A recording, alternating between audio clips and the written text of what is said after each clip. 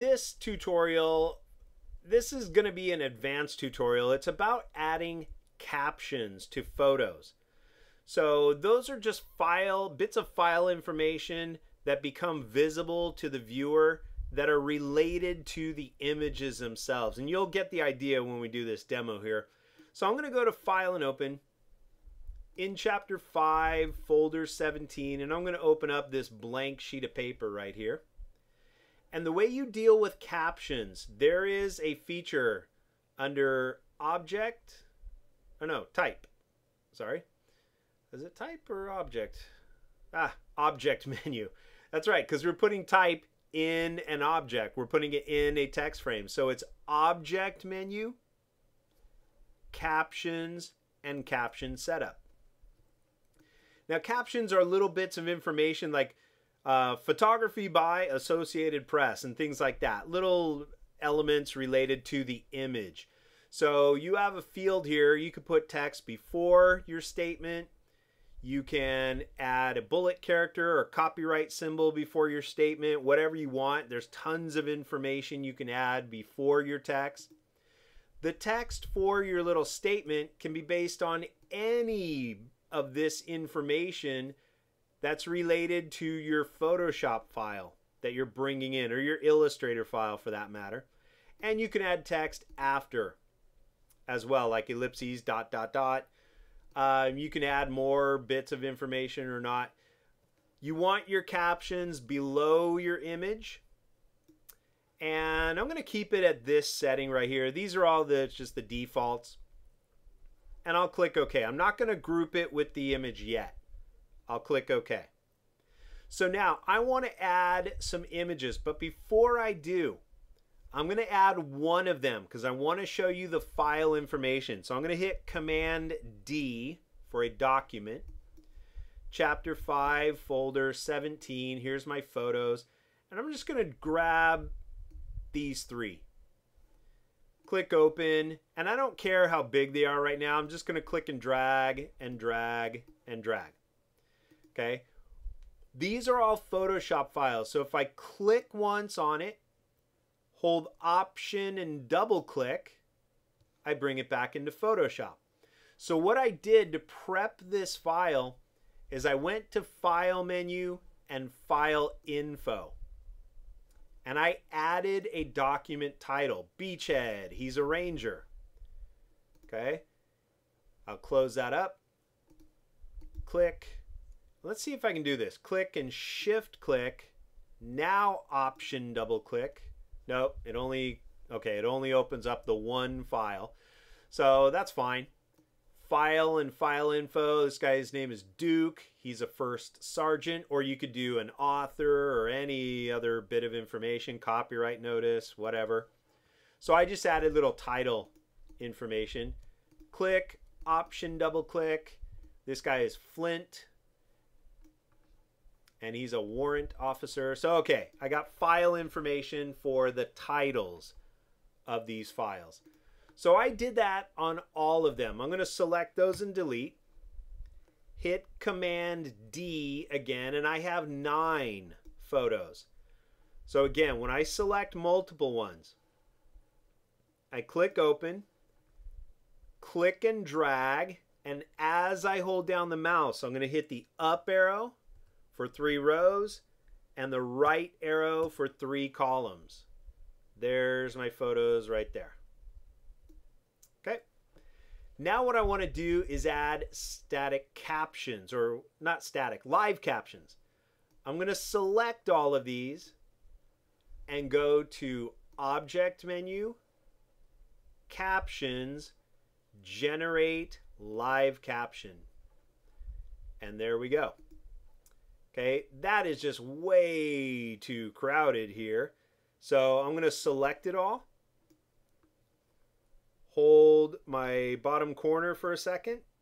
Now I hold my space bar and we'll just kind of pull these apart. Notice as soon as I pull apart the uh, text, it breaks the link. Okay, so let's do this again. Command D. I grab all nine,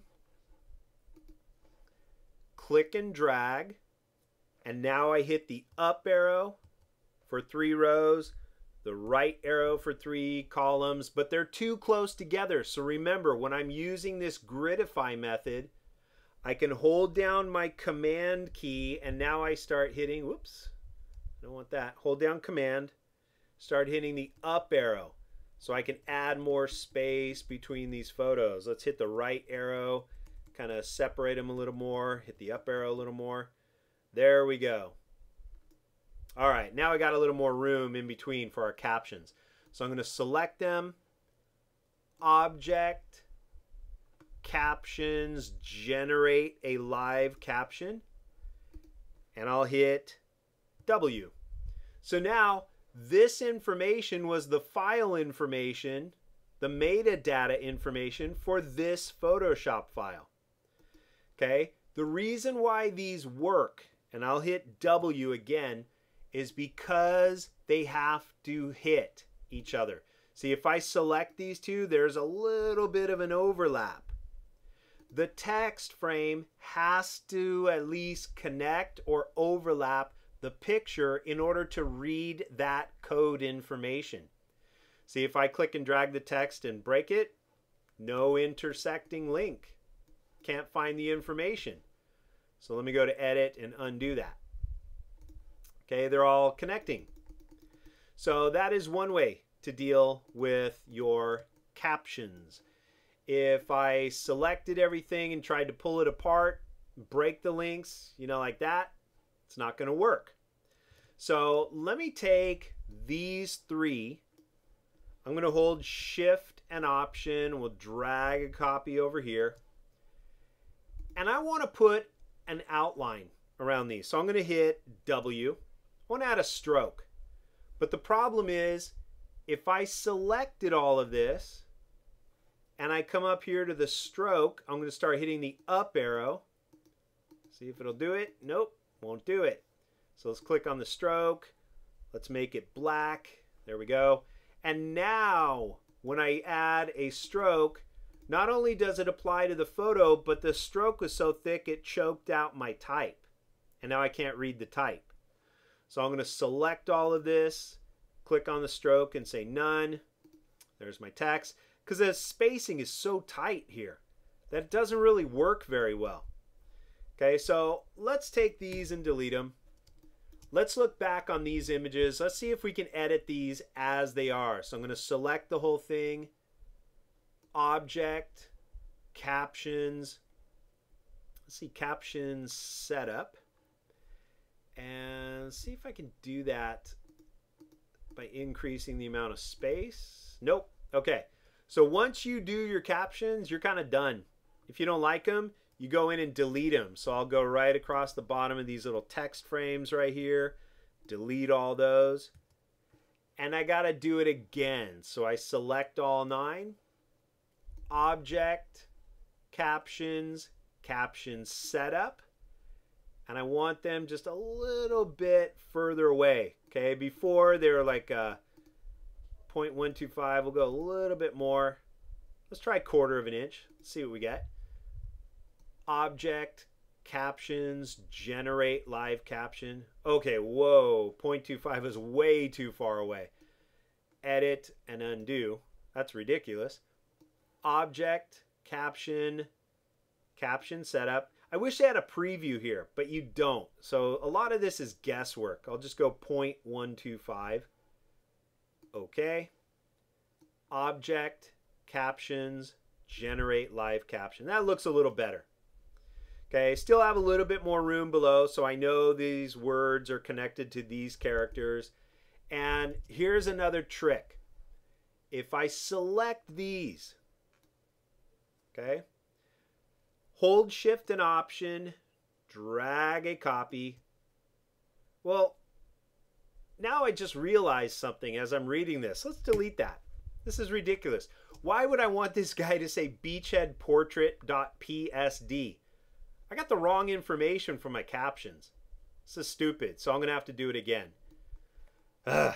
Select and delete. Select and delete. Select and delete. I wanted the title. So I'm going to select all of those. Object, captions, caption setup. The metadata is not the name of the file. I want it to be the title that I typed in on the file info in Photoshop. There we go. Now when I go to Object, Captions, Generate a live caption, that's what I need. Beachhead, he's a ranger. Gung Ho, he's a marine. Scarlet, she's intelligence. Shipwreck is a sailor. So you get the idea.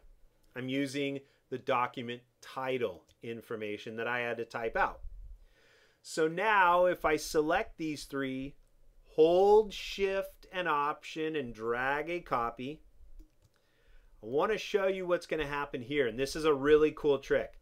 Let's say I move these over a little bit, but I want the photos to kind of be up and a little bit away from these. So I'm going to click, shift click, shift click, and just move those up and over to the right a little bit. Okay, the text frame is not intersecting with the box, so now it can't find that file information. But I do like how the text kind of sticks out. Like it got a little hanging uh, drop cap here, kind of hanging accent here. But I can't read the file information now. So here's an awesome trick. This is somehow linked with this. But when I break that link, the way I can re-establish the link is select them both, object and group. And just by applying a group, it fixes the connection between those two. Select Command G, select Command G. Cool, now I've got them kind of offset. But what I also want to do is change the outline, the corners of this photo. Now, when I click here, the problem is if I wanted an outline, I could click on the stroke, change the stroke to black, but again, it's going to apply to everything. That's going to kill my type. I only want it on the photo, not both. So I'll click none. Here's the trick. If I tried to click on this photo, it selects the photo and the text. I made a group. So here's how you deal with an object within a group.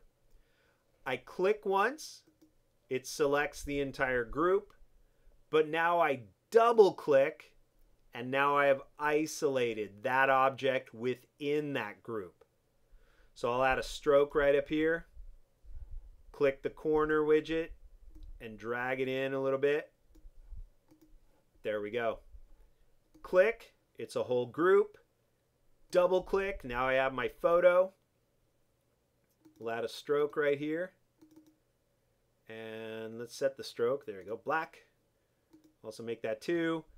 Click the corner widget and I'll drag that in till that guide, little gray box says half an inch. Click, that's a group double click to isolate an object in the group. I'll add a black stroke at a weight of 2. Click the corner widget and drag that over to 0.5. And there we go. Got a totally different look. They're still grouped. I can still move that around. But once I hit Command G again to ungroup, let's see if that does it. Oops, Command Shift G to ungroup, you got problems. Okay? So if you are breaking the link between a caption and the object, select them both and Command G, and that will re-establish the caption link. Okay, if you decide this is not the right information, you would have to delete those and do another caption setup. Instead of taking the document title, you could do the document author or copyright 2020 Chris Nielsen or whatever you wanted to do. But that's how you deal with captions in InDesign. I'll delete these one more time. They're separate. Okay, select your photos. It all has to be set up prior. So I set up file information before I brought these photos into InDesign. That's the clue right there object, captions, caption setup. I want it to be based off of the title. Or just to see what this has, let's just see if there's a date. I know I saw that in here somewhere.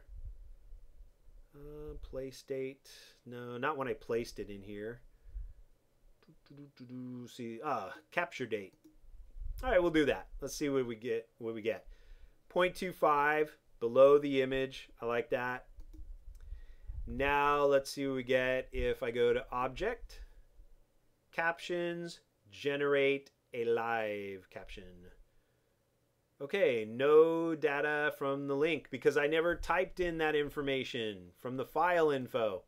So unless, unless you type that information in, you're not going to have it. Object, captions, caption setup. Instead of a capture date, let's go with some information that is typically captured in here, like, um, let's see, the color space. Let's try that. Object, captions, generate live caption. There you go. They're all RGB images. Great. Okay. So some of the file information is automatic. Some of it you have to type in like document titles or whatnot. But that is how you deal with captions. And the last thing I wanted to show you, I'll go to edit and undo. I'll go to object, captions, caption setup. And let's go back to this title one more time here. Okay, object menu, captions, generate a live caption. Cool, I like that. But you know what? Now that I look at this design, I wish those titles ran up the sides of the image, not across the bottom. But again, when I take these text frames and I move them, I'm breaking the link. So we'll undo that. So here's the trick.